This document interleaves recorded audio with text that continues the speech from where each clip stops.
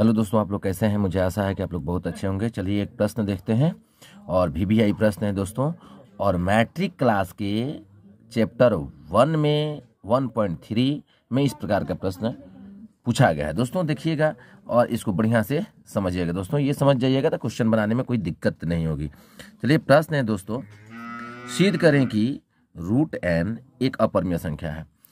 Root N, एक अपरमीय संख्या। इस प्रकार की संख्या को क्या करेंगे? पहले लिख लेंगे यदि क्या लिखेंगे दोस्तों? यदि संभव संभव है तो माना रूट एन एक परिमेय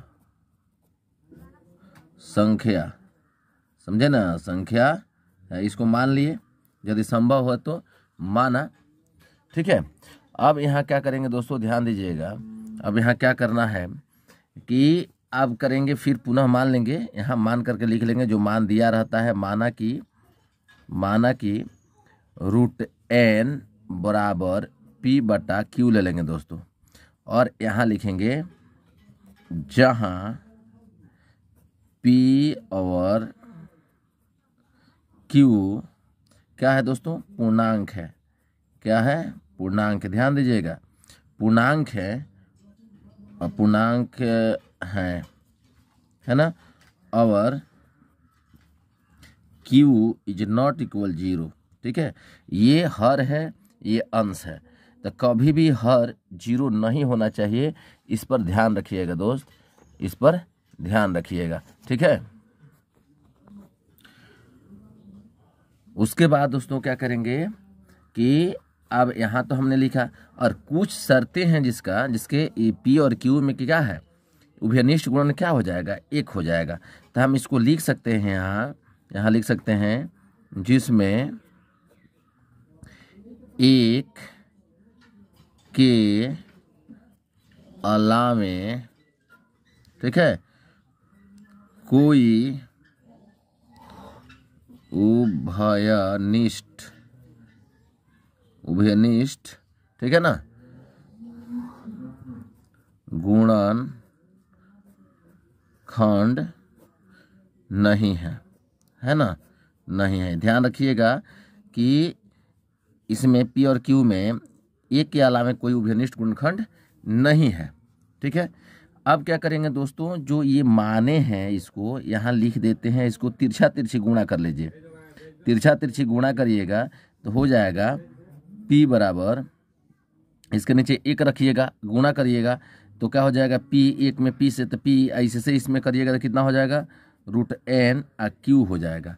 ठीक है, अब क्या करिएगा दोस्तों, दोनों तरफ़ दोनों तरफ़ वर्ग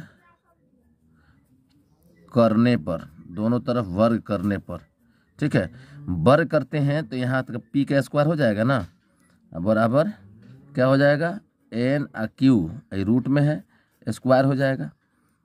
यानी कितना हो जाएगा दोस्तों? पी स्क्वायर तो पी स्क्वायर रहेगा ही रहेगा। और ये रूट है, स्क्वायर से कैंसिल हो जाएगा तो एन हो जाएगा और क्यू स्क्वायर हो जाएगा। क्या हो जाएगा? एन हो जाएगा और क्यू स्क्वायर हो जाएगा। इस समीकरण एक बना लीजिए। ठीक है? एक बना लीजिए, फिर आगे चलिए, आगे देखते हैं क्या है है ना? अब यहाँ क्या करिएगा कि अब देखिएगा, जो गुणा में रहता है वही भाग लगता है। तो ए ना कर इसमें भाग लगेगा। तो जिसमें भाग लगता है उसको क्या करता है? विभाजित करता है। तो यहाँ हम क्या लिख सकते हैं दोस्तों? लिख सकते हैं, लिख सकते हैं एन एन पी स्क्वायर को विभाजित विभाजित करता है। ठीक है? विभाजित करता है। जब एन पी स्क्वायर को विभाजित करता है तो एन भी पी को विभाजित करेगा। यानी विभाजित करता है। ठीक है? करता है। फिर यहाँ लिखेंगे, दोस्तों, माना माना कि आप पी बराबर कुछ ले लेते हैं। कुछ भी ले लीजिए, उसके साथ एन होना चाहिए। तो ले लेते हैं कि एन ले लेते हैं, दोस्त। ठीक है? जहाँ जहाँ के एक धन पूर्णांक है। ये ध्यान रहे कि जो है के लिए हैं, अब या, ध्यान रखिएगा कि जो यहाँ रहेगा वो इसके साथ आप मान सकते हैं पी बराबर ले सकते हैं। लेकिन यहाँ जो के लिया गया है, आप जो मर्ज़ी वो ले सकते हैं। है ना? क्या लेंगे? यहाँ जो लेंगे, जैसे अभी हमने लिया है पी और क्यू तो ई पी क्यू को छोड़कर बाकी कुछ भी यहाँ की के जगह पर आप ले सकते हैं। कोई भी लेटर ले सकते हैं और कोई दिक्कत नहीं है अब बना सकते हैं। बिल्कुल आसानी से बना सकते हैं दोस्तों, बिल्कुल आसानी से। अब क्या करना है दोस्तों पी का मान हमने जो रखा है ये, है ना? ये क्या करेंगे दोस्तों कि समीकरण एक में रख लेंगे। सॉरी हाँ एक है। एक में रख लेंगे, ठीक है? यहाँ क्या करेंगे कि लिखेंगे पी का मान भी लिख सकते हैं या डायरेक्ट भी लिख सकते हैं। यहाँ लिख सकते हैं पी का मान समीकरण एक में रखने पर, ठीक है? अब रखिए, जहाँ पी है वहाँ आपको के एन रखिए। के एन हमने रखा। इसके जगह पर उसके सिर पर क्या है? स्क्वायर है। अब बराबर में एन और क्यू स्क्वायर है। या अब इसको स्क्वायर करेंगे तो दोस्तों होगा के स्क्वायर। फिर एन स्क्वायर हो जाएगा, ध्यान दीजिएगा। और फिर यहाँ एन क्यू स्क्वायर हो जाएगा। तो इसमें कई गो एन है, ए गो है, इसमें दो गो एन है है ना? तो यहाँ ऐसे भी लिख सकते हैं, के स्क्वायर। और एन इंटू एन लिख सकते हैं। लिखेंगे ना? बराबर एन और क्यू स्क्वायर लिख सकते हैं। एन से ये एन कैंसिल हो जाएगा। होगा कि नहीं? हो जाएगा। अब के स्क्वायर एन बराबर क्या हुआ? क्यू स्क्वायर ध्यान दीजिएगा। अब क्या बच गया? के स्क्वायर एन बराबर क्यू स्क्वायर यानी गुणा में क्या है अभी? एन है। तो एन किसको विभाजित करेगा? इसको करेगा। तो यहाँ क्या लिखेंगे? यहाँ लिखेंगे एन एन क्यू स्क्वायर को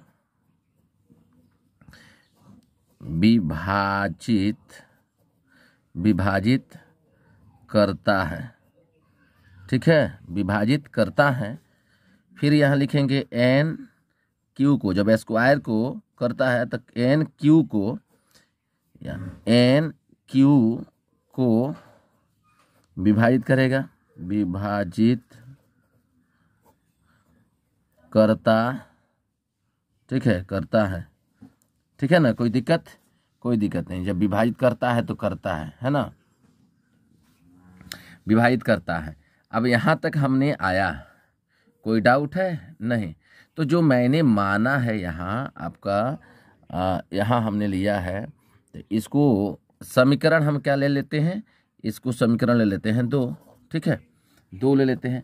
यहाँ आप लिख देते हैं, दोस्तों, कि समीकरण एक अवर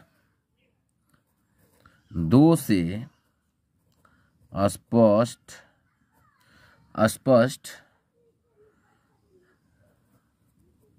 है कि पी तथा क्यू दोनों एन से विभाज्य विभाज्य हैं, जो कि हमारी मान्यता, जो हमारी मान्यता की पी क्यू में एक के अलावे एक के अलावे कोई उभयनिष्ठ उभयनिष्ठ गुणन खंड नहीं है नहीं है। क्या है जी दोस्तों, के विपरीत है, विपरीत विपरीत है। ठीक है? कि विपरीत है। इसलिए इसलिए हमारा यह मानना है कि रूट एन बराबर पी बटा क्यू गलत है। ठीक है? गलत है, अतः, यानी विरोधाभास है, अतः, रूट एन, एक, अपरिमेय संख्या है।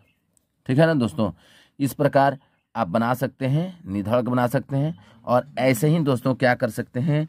आप रूट दो का, रूट थ्री का, रूट फाइव का, root six, root seven, root eight root ten, इस प्रकार की संख्या का सबका इसी पर निकाल सकते हैं। यानी जहाँ एन है, वहाँ इस संख्या को आप रह करके निकाल सकते हैं। ठीक है? चलिए बहुत बहुत धन्यवाद। फिर अगले वीडियो में हम लोग मिलेंगे।